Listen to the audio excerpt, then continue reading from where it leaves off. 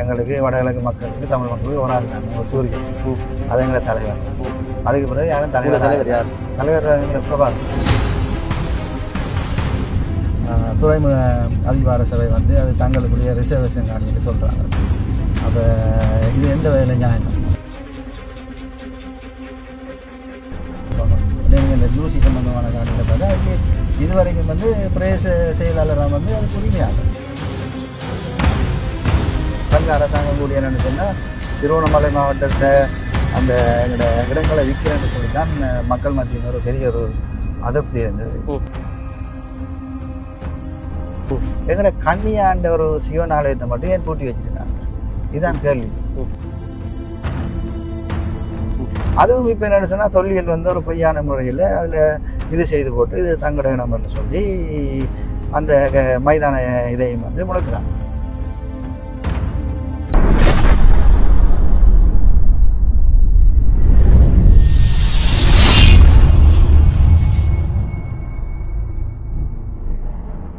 மாற்றத்துக்கான அதீத சக்தி கேடிவியோடு மற்றொரு நிகழ்ச்சியில் உங்கள் அனைவரையும் சந்திப்பதில் மகிழ்ச்சி அடைகின்றோம்.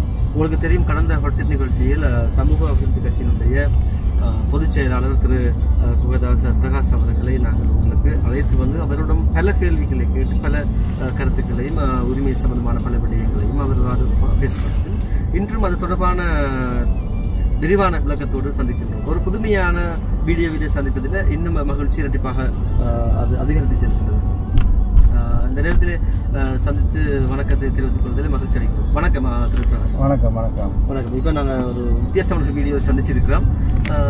இப்ப நிறைய வீடியோஸ் எல்லாம் வந்து இப்படி தான் எடுத்துட்டு இருக்கிறாங்க. இப்படி தான் நேர்கள் எல்லாம் போயிட்டு இருக்கு ஏன்னா நேர்களும் கொஞ்சம் சுவாரஸ்யமாக பார்க்கணும்னு தான். என்னடா நேரத்தையும் கருத்தில் கொள்ள வேண்டிய ஒரு நிலைப்பாடு இப்போ எல்லா இடத்துலையும் நேரம் சுருங்கின மாதிரி அஹ், போயிட்டுதோன்ற மாதிரி ஒரு எண்ணம் இப்போ நிறைய பேர்ட்ட அது தோன்றி இருக்கு எனவே நாங்கள் பிரகாசம் நாங்கள் டெய்லி தான் சந்திச்சிருக்கிறோம். திடீர்னு தான் சந்திச்சிருக்கிறோம். இந்த சந்திப்பு எப்படி இருக்கு பிரகாஷ் கண்டிப்பாக பார்க்க போனால் என்னன்னு சொன்னால் இன்றைக்கி இந்த ஊடகத்துறை கூடி இப்படி வளர்ந்துருக்கு. அது கண்டிப்பாக ஒரு மகிழ்ச்சியான செய்தி.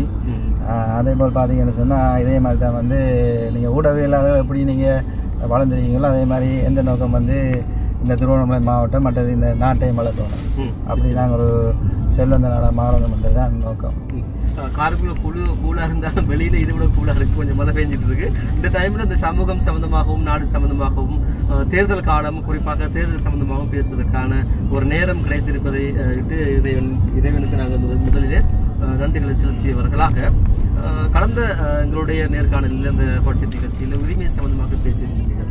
எதிர்காலத்தில் நீங்கள் ஒரு ஒரு பாராளுமன்ற உறுப்பினராக உங்களுடைய இந்த சுயேட்சை குழு அல்லது இந்த சமூக அபிவிருத்தி கட்சியினூடாக தெரிவு செய்கின்ற பட்சத்தில் உரிமைகள் என்று பார்க்கிற பொழுது முதலிலே நாங்கள் காணி உரிமை இந்த இந்த நில உரிமை சம்பந்தமாக பேசப்பட்டிருந்தோம் இந்த நில உரிமை சம்பந்தமாக என்ன செய்ய என்னென்னு நீங்கள் சொன்னால் கிட்டத்தட்ட ஒரு முப்பத்தஞ்சு வருஷத்துக்கு முதல்ல வந்து இந்த திருவண்ணாமலை மாவட்டத்தை நீங்கள் பார்த்தீங்கன்னு சொன்னால் அந்த பூம்புவார் காணி மற்றது காந்தி நகர் காணி கஸ்தூரி நகர் ஆஹ் நாகராஜா மற்றது வந்து என்ன சொன்னால் அந்த மூண்டாங்கட்டை பகுதியில் பார்த்தீங்கன்னு சொன்னால் ஆனந்தபுரி நித்தியபுரி போன்ற காணி மக்கள். அந்த மக்களுக்குரிய காணி உரிமை வந்து இன்னும் வழங்கப்படுது அந்த காணி உரிமையை இப்போ கண்டிப்பாக பெற்றுக் கொடுக்கணும்.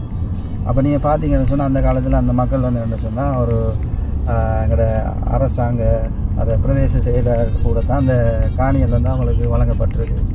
இப்போ பட்டிருந்தானு வந்து இப்போ நீங்கள் பூம்புகாரை பார்த்தீங்கன்னா அதுக்கு பிற்பட்ட காலத்தில் அந்த காணி வந்து அந்த மக்கள் இல்லை பார்த்தீங்கன்னு சொன்னால் அந்த காணியில் குடியிருக்காங்க. அதே மாதிரி வந்து கரண்ட் பில் கட்டுறாங்க தண்ணி பில் கட்டுறாங்க. சரிதானே சில காணியில் மோட்டர் வரையும் கட்டுறாங்க.